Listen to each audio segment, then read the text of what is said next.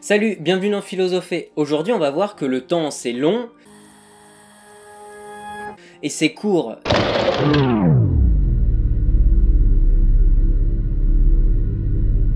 C'est complexe. Surtout plus complexe que les tic-tac des machines qui résonnent à l'époque des deux auteurs qui vont nous intéresser, Bergson et Heidegger.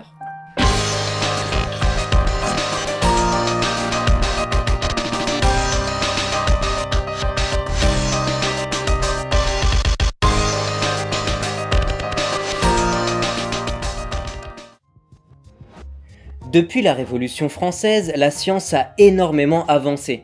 Elle a pris une place déterminante dans le champ des savoirs. La spécificité de ses symboles et de ses méthodes semble disqualifier tout autre propos. L'autorité religieuse est battue en brèche, même si on n'efface pas 2000 ans d'histoire, structurant notre pensée et nos relations en seulement quelques décennies. C'est maintenant la science et son rationalisme qui expliquent le monde avec des auteurs comme Auguste Comte et son positivisme, terme aujourd'hui quelque peu péjoratif, renvoyant une certaine naïveté, une foi envers la science telle qu'elle était pensée au 19e siècle, teintée encore de progressisme métaphysique. Les usines des marchands se multiplient, les ouvriers remplacent les paysans et l'économie constitue à présent un système unifié, un réel marché tel qu'on le conçoit aujourd'hui. Le capitalisme reforme les structures féodales selon la production marchande. C'est dans ce contexte qu'apparaissent Bergson et ensuite Heidegger. Henri Bergson, philosophe français, naît le 18 octobre 1859 à Paris et meurt le 4 janvier 1941. Professeur au Collège de France et maître de conférences à l'école normale supérieure, ses écrits reçoivent un accueil mitigé. Il marquera tout de même l'histoire de la philosophie. Il a publié quatre principaux ouvrages. D'abord en 1889, L'essai sur les données immédiates de la conscience. Ensuite, Matière et mémoire en 1896. Puis L'évolution créatrice en 1907. Et enfin, Les deux sources de la morale et de la religion en 1932 il a obtenu le prix Nobel de littérature en 1927. Martin Heidegger, philosophe allemand, né le 26 septembre 1889 à Maestricht et meurt le 26 mai 1976 à Fribourg-en-Brisgau. Il fut membre actif de l'administration nazie. Son ouvrage majeur est Être et temps, il est considéré comme un philosophe marquant du XXe siècle. Sa démarche a influencé la phénoménologie et toute la philosophie européenne contemporaine. Il a notamment influencé la philosophie française et des auteurs comme Jean-Paul Sartre ou Emmanuel Lévinas entre autres. L'importance de Heidegger est très contestée depuis la parution des Cahiers Noirs, qui révèlent les liens étroits de sa philosophie avec la pensée nazie. Tous deux se sont penchés sur la question du temps, ainsi que sur le rapport à la technique et aux machines de leur époque. Leurs deux discours sont cependant très différents. Étudions donc leurs pensées et commençons par Bergson.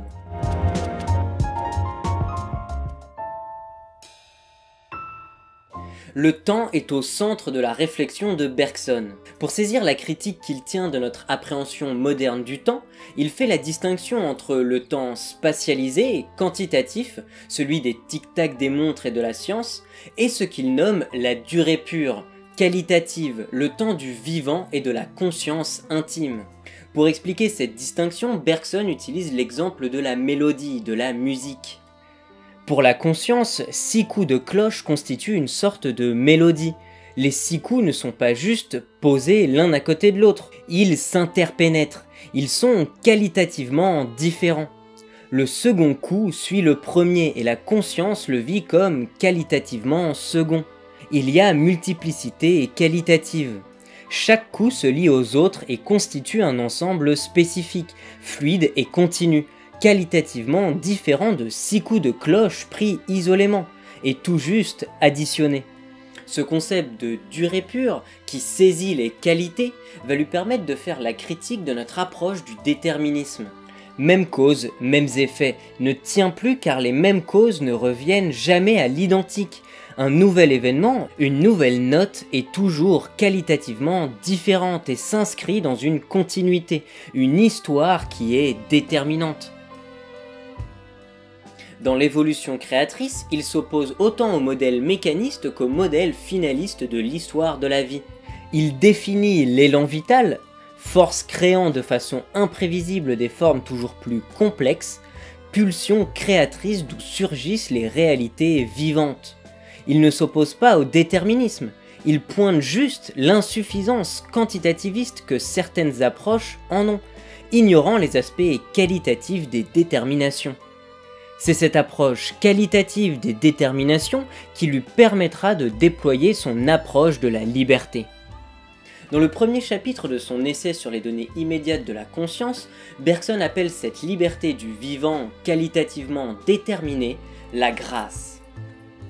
La grâce d'une danseuse, par exemple, est bien cette façon dont chaque mouvement futur est déjà contenu dans le mouvement présent, sans discontinuité, et elle sera une manifestation très pure de cette liberté comme fidélité, création de soi, projection dans l'anticipation vibrante et mouvante de ce qui se dessine.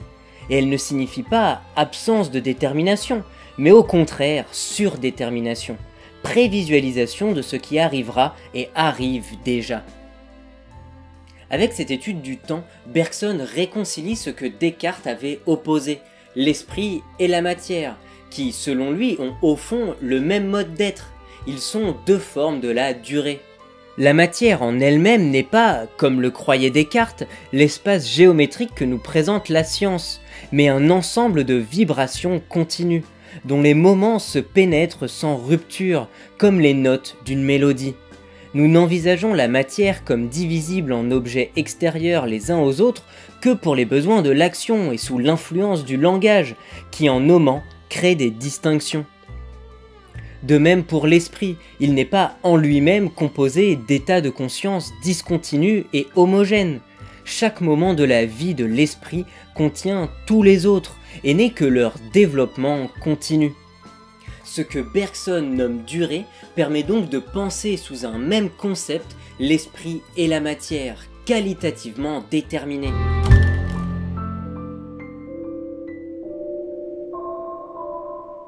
La réflexion d'Heidegger peut commencer par cette question issue de Leibniz. Pourquoi y a-t-il quelque chose plutôt que rien? Selon lui, l'être n'est présent, ne nous est accessible qu'à travers son action, qu'entend en quêtant. Heidegger cherche donc l'être de l'étant, c'est-à-dire qu'il cherche l'essence de l'être caché derrière le mouvement des choses, derrière l'évolution des choses.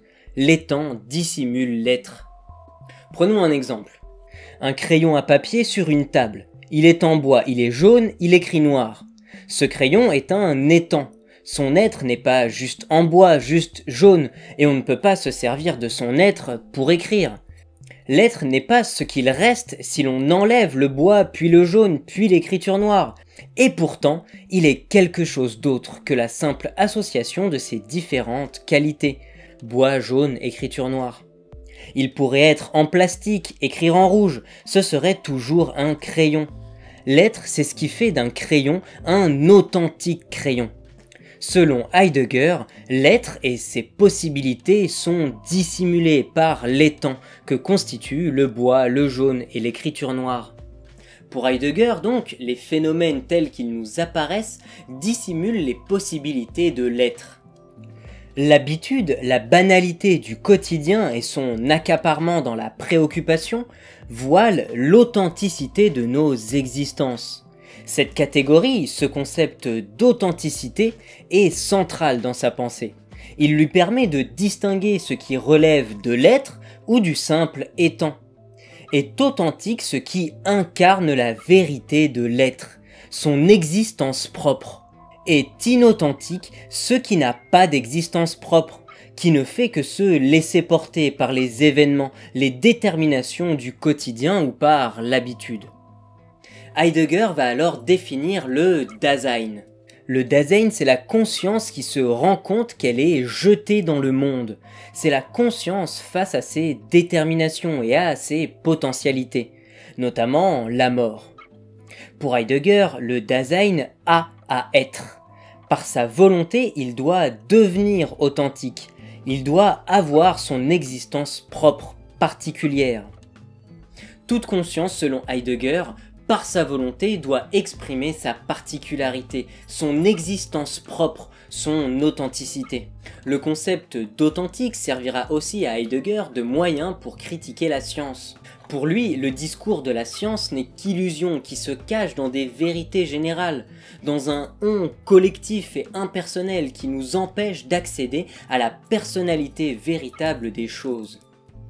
Il rejette donc la science et la technique qu'il définit comme évoluant dans une temporalité infinie et inauthentique, inessentielle. Il rejette la science qui, selon lui, ne donne que des réponses générales, sans jamais poser la question de l'être, de l'essence des choses. Pour Heidegger, la vérité n'est pas dans la rationalité, mais dans l'essence. On ne peut saisir la vérité par des conclusions rationnelles, car pour lui on ne conçoit pas l'expérience à la manière des sciences, de façon impersonnelle. Il faut saisir la vérité avant tout jugement, à vrai dire, c'est la vérité qui nous saisit et qui ensuite permet les raisonnements. Pour Heidegger, la vérité est une expérience existentielle.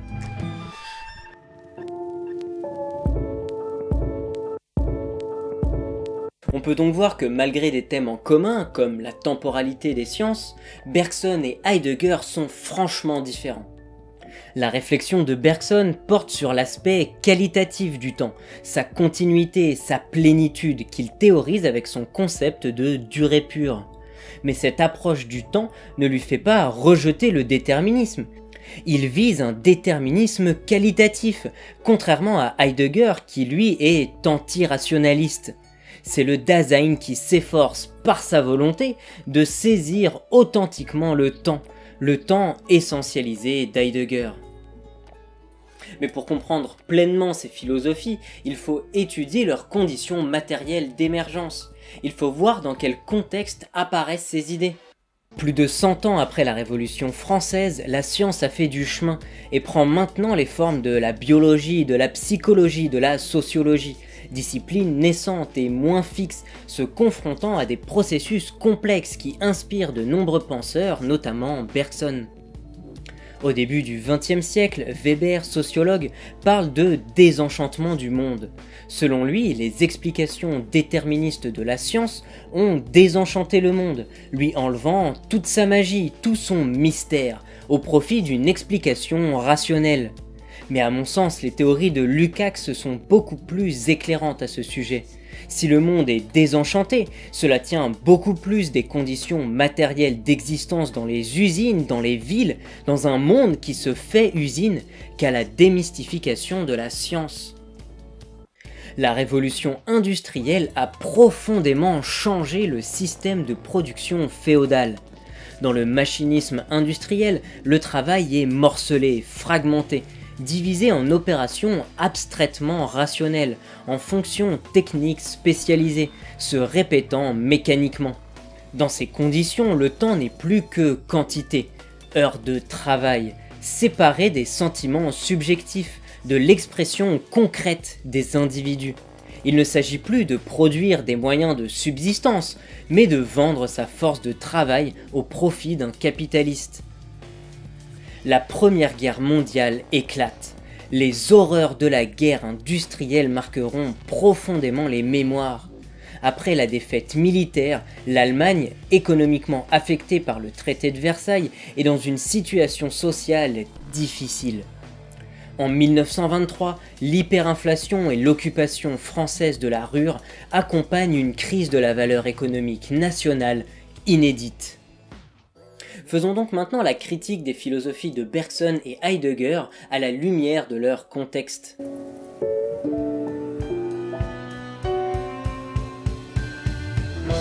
Bergson rejette les kantiens français de son temps, car les concepts utilisés sont trop généraux et qu'ils ne correspondent à aucun examen des faits réels. Ils ne sont que des instruments conceptuels appris et répétés, comme par exemple l'opposition sujet-objet ou encore esprit-matière. La pensée de Bergson a beaucoup préoccupé les théologiens. Il a connu les sévères critiques du père de Tonqueduc sur le panthéisme de l'évolution créatrice, où Dieu serait immanent en tant qu'élan vital. Mais Bergson devient ensuite un auteur canonique, reconnu même par les théologiens catholiques qu'il avait condamnés, mis à l'index exactement. Bergson thématise précisément les deux dimensions du temps qui se séparent dans la modernité. Le temps quantifié ou spatialisé, tant de la valeur ou du travail abstrait, tant des sciences modernes accompagnant le productivisme moderne. Et le temps inquantifiable, où la durée intime, hétérogène, fluide, multiple, mais qualitative, tant qui est écrasé par le productivisme technoscientifique moderne. Les déterminations du temps spatialisé dont parle Bergson semblent être souvent analogues aux déterminations du mode d'être inauthentique du Dasein. La durée intime, non spatialisable, semble être analogue, elle, à la temporalité authentique du Dasein. Néanmoins, en ayant pour base non pas l'essence de l'être, mais l'évolution créatrice de la vie, Bergson dépasse Heidegger et ses limites oppressives, avant même qu'elle ne se formule. En déterminant la mémoire, la sensibilité et la motricité de toute vie comme étant la substance de toute durée intime, il inscrit une différence très déterminée entre l'être du vivant et l'être du non-vivant, sans sombrer dans l'écueil excluant de Heidegger entre existence authentique et inauthentique. La vie ou la conscience intime, selon Bergson, est saisie dans sa spécificité et non dans une possibilité affirmée de façon autoritaire. Bergson défend au fond une conception sociale beaucoup plus égalitaire et émancipatrice que l'idéologie d'Heidegger. Là où Bergson cible l'originalité de tous les vivants, qu'ils soient non humains ou humains, qu'ils soient gestionnaires théorisants, travailleurs productifs ou dits inexploitables, Heidegger, lui, classe entre authentique et inauthentique, entre vraies femmes, vrais hommes et ceux qui n'en seraient pas. Certes, un certain vitalisme de Bergson pourrait encore poser problème. En effet, un tel vitalisme pourrait être encore issu d'une certaine essentialisation du travail abstrait. Travail abstrait qui fournit en effet implicitement une notion abstraite de vie en général, plus que problématique, qui réduit tous les travaux concrets à une pure dépense énergétique indifférenciée, une dépense d'énergie vitale en général, en vue de leur valorisation. Malgré cette réserve importante, il reste envisageable d'orienter Bergson vers une direction plus émancipatrice, avec Lukács par exemple, en reprenant sa critique du temps spatialisé, non pas en vue de la régulation de la valeur, de la régulation des conditions de travail quantifiant abstraitement le temps pour l'accumuler comme valeur, mais en vue de son abolition stricte, non pas au nom de la défense d'une vie abstraite, mais au nom de l'émancipation des individus vivants, humains ou non humains, aujourd'hui socialement conditionnés par une synthèse sociale marchande. Avec une critique musicale de notre temporalité industrielle, le projet poétique rejoint le projet révolutionnaire.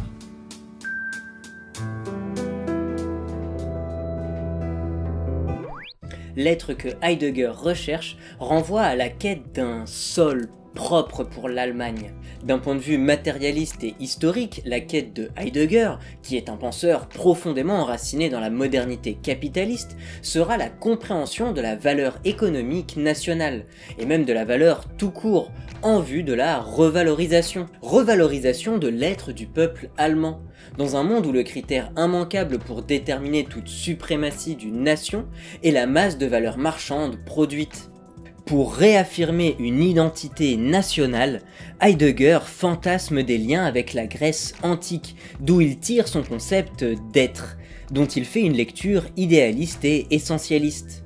Heidegger ne laissant aucune place au déterminisme et à la rationalité, les associant même au caractère calculateur du juif. L'affirmation de cette authenticité ne repose sur rien, si ce n'est sur l'autorité. Il n'y a aucune argumentation rationnelle possible, juste l'affirmation de conceptions invérifiables. les possibilités de l'être ne servent qu'à affirmer un ethno-différentialisme qui s'impose autoritairement, comme les fascistes qui se réclament de la liberté d'expression pour affirmer leur suprématie abstraite. Selon Heidegger, c'est à celui qui criera le plus fort. Son concept d'existence propre ne renvoie qu'à l'affirmation de la propriété qu'il s'agirait de revaloriser dans une Allemagne en crise. Il n'affirme que des fantasmes capitalistes, en l'occurrence nationalistes, autoritaires et patriarcales, proprement réactionnaires. Dans son séminaire inédit de 1933-1934, Heidegger identifie le peuple à une communauté de souches et de races. Et Heidegger utilise même ces concepts d'être et d'étant au service d'une pensée politique nazie. Un État est seulement pendant qu'il devient, devient l'être historique de l'étang, qu'on appelle le peuple. C'est toute sa philosophie qui est en lien étroit avec la politique nazie, faisant même une lecture de l'État épousant son antirationalisme et son autoritarisme. Il déclare que c'est dans l'État qu'advient la plus haute réalisation de ce qu'est l'être humain. Et quelle forme d'État Le Führenstaat, qui signifie l'accomplissement du développement historique, la réalisation du peuple dans le fureur. Il ira même jusqu'à nier les morts des chambres à gaz, les juifs n'ayant selon Heidegger pas de sol propre, et leur récusant alors le statut d'humain. Sa critique antirationaliste de la science, de la technique et par extension du capitalisme apatride, mondial, sans sol, financiarisé même, pour retrouver une certaine particularité, est une thématique récurrente du discours réactionnaire, fantasmant un passé idéalisé et niant son caractère inégalitaire. C'est dans cette logique qu'Heidegger inscrit le romantisme, faisant l'éloge de la violence des passions, de l'irrationalité de l'homme. Il ira même jusqu'à identifier encore une fois l'universalité des Lumières à un héritage chrétien, et donc juif.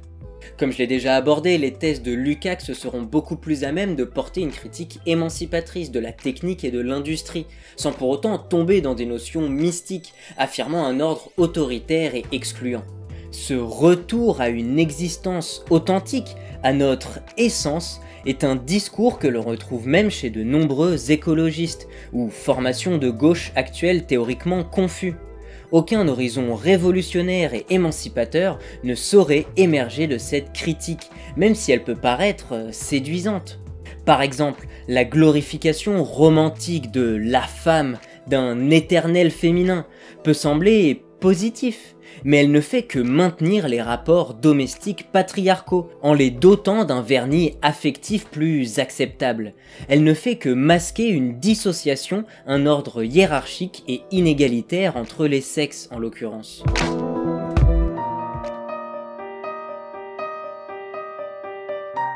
L'universalisme de Bergson est tout à fait récupérable du point de vue d'une théorie critique émancipatrice, lorsqu'on le concrétise et lorsqu'on radicalise ses positions là où le nationalisme de l'idéologue bourgeois Heidegger est proprement irrécupérable. Bergson pourra devenir une référence pour le syndicalisme révolutionnaire avec lequel il a entretenu des relations, là où Heidegger s'engagera quelque temps au NSDAP, le parti nazi, et sans savoir renier explicitement cet engagement après l'horreur reconnue de la Shoah. La publication des cahiers noirs finit d'achever le doute, montrant les liens étroits entre sa philosophie et le projet nazi, réduisant son œuvre à un mauvais poème antisémite. De fait, ses héritages seront politiquement très opposés. Néanmoins, l'analyse de leurs thèmes communs peut nous apprendre beaucoup. Notre rapport au temps et à la science semble bien être déterminant dans la formulation d'une critique émancipatrice. Il s'agit de dépasser la rationalité abstraite issue des Lumières, comme nous avons pu le voir dans l'épisode précédent sur Kant et Hegel. Il faut abolir cette rationalité qui ne voit tout que sous forme de quantité, comme sous forme de marchandise. Il s'agit de bien plus que d'une aventure philosophique. Il ne s'agit pas de simplement dépasser conceptuellement cette rationalité pour qu'elle advienne. C'est une affaire très matérielle Il faut s'organiser pour briser ce qui quantifie nos existences dans la souffrance et la contrainte, niant la diversité de nos qualités, niant le vivant même. Ce mouvement ne doit pas se perdre dans une simple réaction nationaliste ou romantique, rejetant la rationalité et la science pour réaffirmer une organisation autoritaire. Il ne doit pas y avoir de fondement absolu, mystique à notre autonomie. Il n'y a qu'une vérité crue, des déterminations concrètes auxquelles nous devons répondre communément. Il nous faut construire une rationalité concrète qui brise les abstractions qui nous dominent, qui brise la rationalité des usines et qui redonne au temps sa mélodie, à nos existences leur poésie.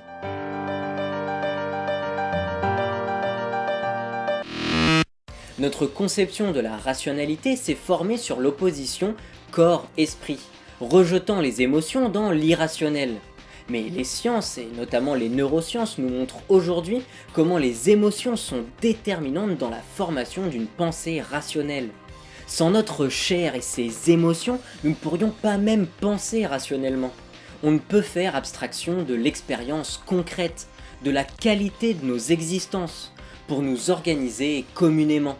Comme la science, il nous faut procéder sans aucune autorité, mais avec détermination, conscient des rapports de force dans lesquels nous avançons. Dans les conditions écologiques et sociales actuelles, notre rage est alors des plus rationnelles et nécessaires.